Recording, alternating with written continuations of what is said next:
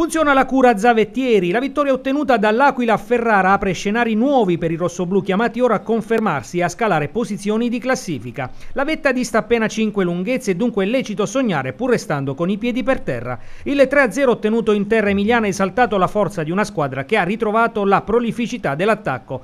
Oltre al solito San Domenico da rimarcare c'è la prima segnatura stagionale di Perna che è riuscito a rompere l'incantesimo e a sbloccarsi dopo un lungo digiuno.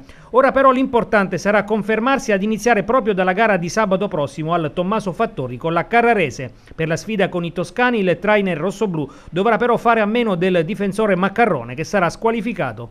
E se l'Aquila ride, il Teramo non può fare altrettanto. I punti in classifica sono gli stessi dei cugini rossoblù, ma le ultime prove della squadra del presidente Luciano Campitelli hanno un po' lasciato a desiderare. Non mancano le attenuanti per le tante assenze che hanno costretto il tecnico biancorosso Vincenzo Vivarini a schierare anche contro il Pro Piacenza una formazione incerottata.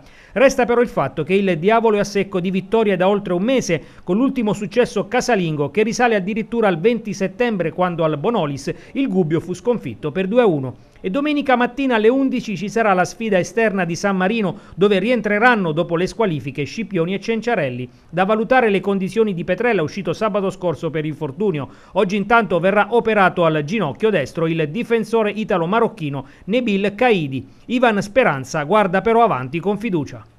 Vivarini dice che insomma, qui a Teramo è diventato difficile giocare la palla scotta, al primo errore arrivano i fischi dalla tribuna, voi avvertite tutta, diciamo, tutta questa freddezza da parte del settore che è alle vostre spalle?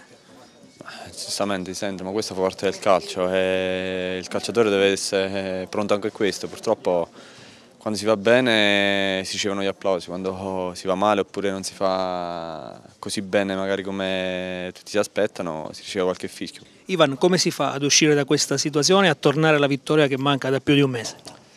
Dobbiamo stare calmi, tranquilli, compattarci come gruppo, come ho sempre detto, perché il gruppo è la cosa più importante. Non dobbiamo far prenderci dal nervosismo, dalla, dalla, rabbia, da tutto. Dobbiamo stare tranquilli e prima o poi i risultati verranno perché questa è una squadra che comunque sta giocando anche un buon calcio secondo me, però purtroppo stiamo ricavando poco da, dal nostro gioco. Domenica ci sarà questa gara col San Marino, tra l'altro si giocherà alle 11 in un orario particolare, una gara non facile come tutte, però insomma bisognerà cercare di fare qualcosa in più di oggi.